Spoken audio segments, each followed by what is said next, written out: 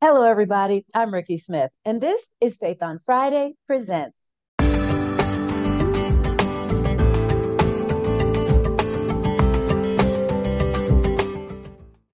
At Faith on Friday Presents, we're all about highlighting inspiring people, engaging topics, and small businesses. And don't forget, while you're here, subscribe, like, and share us with your network. So, as you know, not only did everyone start building a business in 2023, but people also started building these nonprofits. How cool! Nonprofits are an amazing way to help people in your community, to help people who are less fortunate, to help people do the things that make them successful by you being all that you can be to be successful.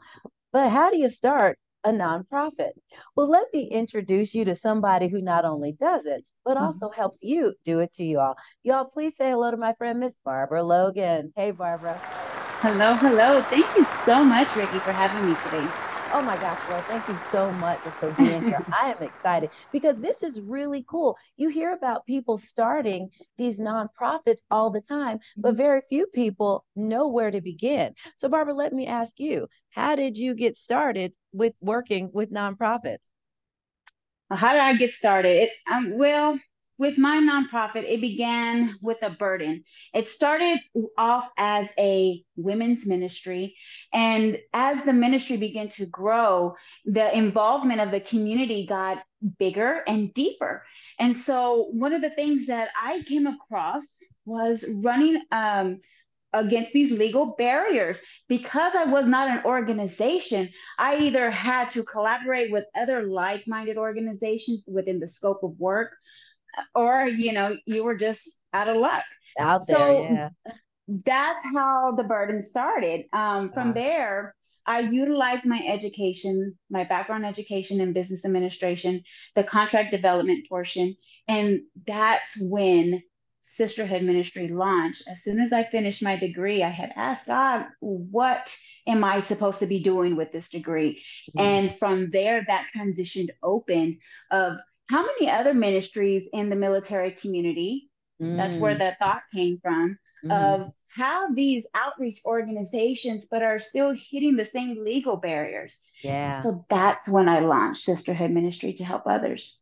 That is so awesome. So when you started and the ministry it's actually your 501c3 and your business is called sisterhood ministries. Is that right?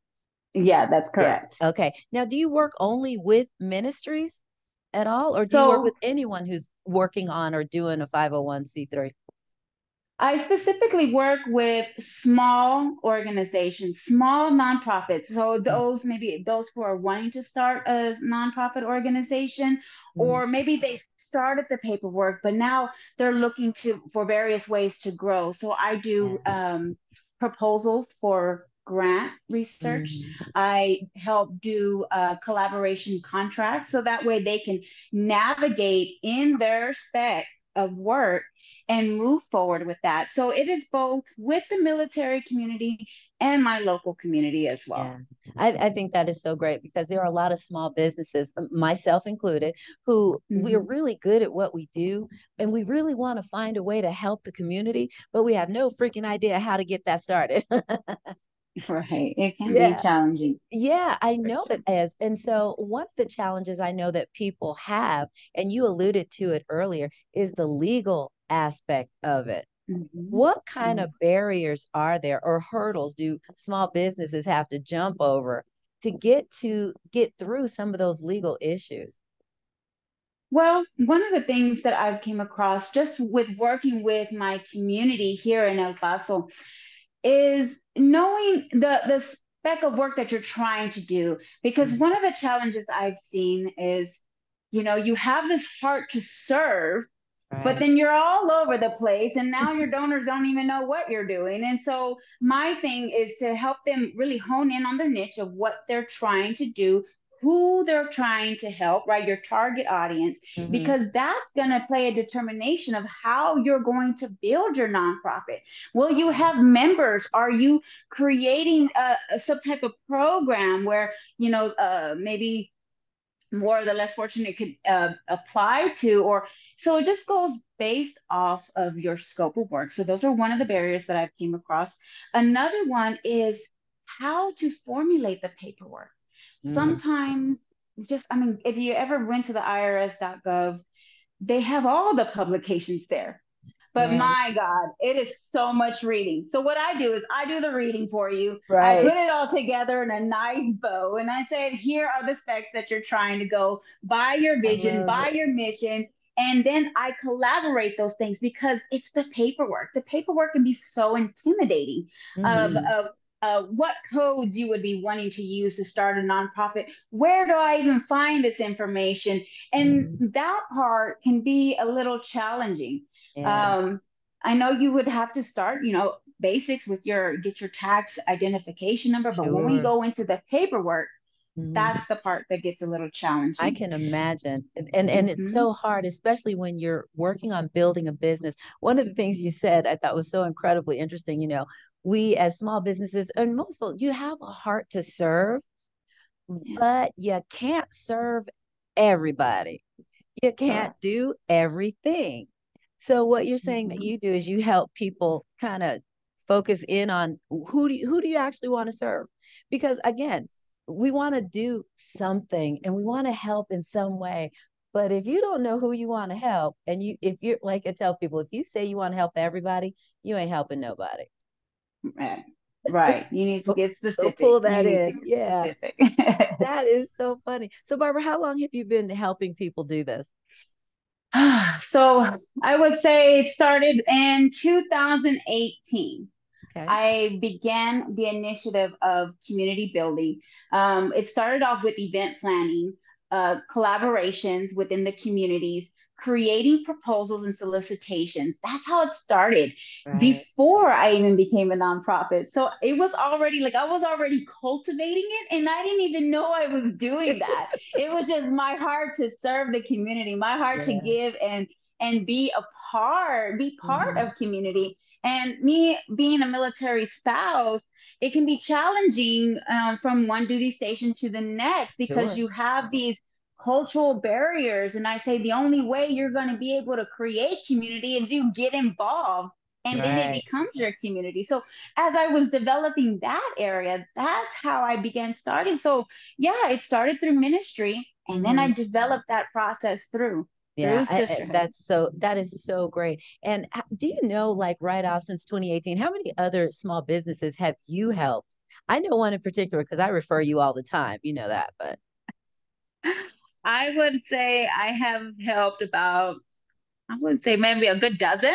Awesome. A good dozen since yeah. 2018. Yeah. Um, these are again local small nonprofits. Mm-hmm. They have either started their nonprofit business Mm-hmm. or um, they needed help with the paperwork and creating a nonprofit business.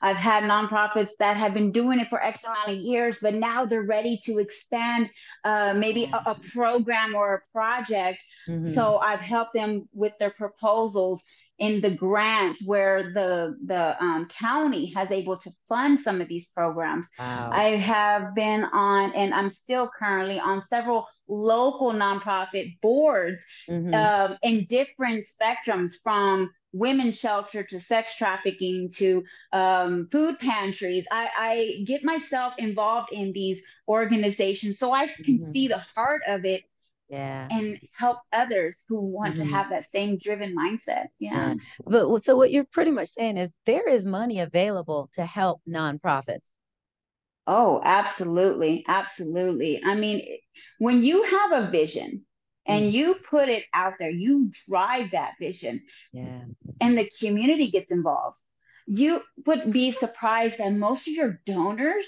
come from mm. your support system than it does these large corporate Mm-hmm. Most of your donors are the community that sees what you're doing and mm-hmm. wants to participate in the giving. They may not be able to volunteer their time, so then they might right. monetarily give.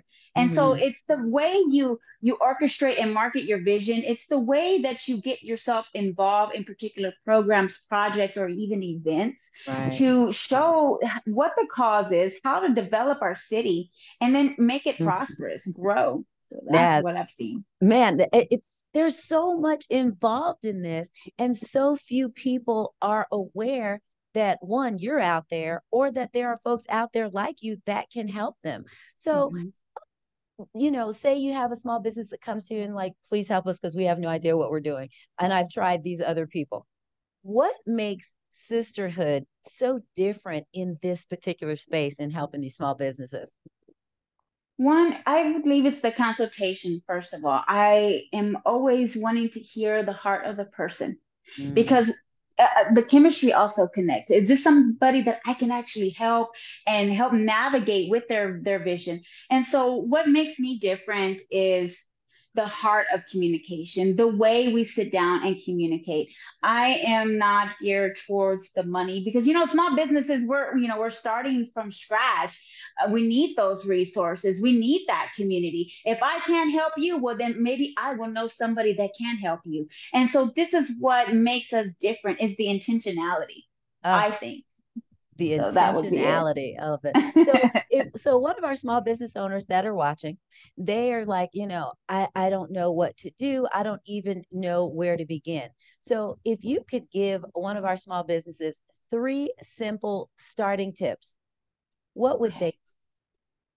So, the first one would be to write out your mission and your vision. Mm. Okay. That yeah. would be the first tip. That's good. Your second tip would be to create a, a history log of, of what you have done so far for the community or what is that scope based off the mission and vision that you're trying to get involved with because a lot of the times we do what we do mm. because of a burden that we have inside so good. There's a burden, there is a hurt, there might be their pain, there might be something that you have overcame that you mm. want to give back into the community because it inspired you. And mm. so that would be the second one.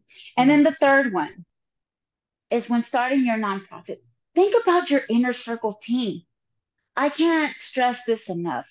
You will have see the difference between a an LLC and your nonprofit is one is is an individual based business, right? Mm-hmm. It does help the community, of course, mm-hmm. but the nonprofit is a community driven based business. So, therefore, you want to be very selective on who mm-hmm. is going to be your board Who's going to sit there, understand the vision and the mission? Don't start any of the paperwork until you have your inner circle who Ooh. understand what the vision is, who mm-hmm. will not take it and corrupt it, who will not try to turn it or take it and then drop it, but mm. understand mm. what you're trying to do, the mission at hand. Those would be the three things. So you've got your mission and vision first. What is the sc- scope of that burden that has caused you to do what you're doing now? Mm-hmm. And the third, most important, I couldn't stress it more than enough, your board of directors? So Who good. is your main inner circle that's going to drive this with you? Mm-hmm. I don't know about y'all, but if y'all aren't feeling the enthusiasm for what it is she's doing, I, I don't know what's wrong with you. I really don't. Drink more coffee. Barbara, if somebody wanted to work with you or at least continue the conversation, how could they find you? Okay, so first we got to go to the website, the mm website, www.sisterhoodministry.com. Again, sisterhoodministry.com. mm Or you can email me at info at sisterhoodministry.com. We okay. would set up an appointment, we'll do a consultation, and then we would go from there. I love it y'all there is so much here going on right now. I don't have a nonprofit and i think i need to start one right now. I mean true story. Yeah, but on. don't forget y'all if y'all did not get that information don't worry. Everything will be in the description below. And don't forget while you're here like subscribe and share our content as well. Barbara my friend before i let you go we got to play a game. Okay let's okay. do it so this game is called this or that. Really simple. I'm just going to give you the choice of a few things and you off the top of your head just tell me which one you like the best. Are you ready to play? Let's do it. Let's do it.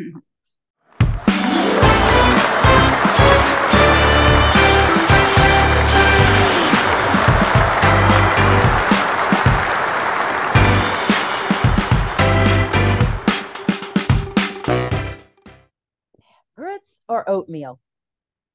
Um, oatmeal. All right. Yellow light, slow down or speed up? Speed up. I'm not even going to get into the problems with that. Okay. uh, shopping online or in store?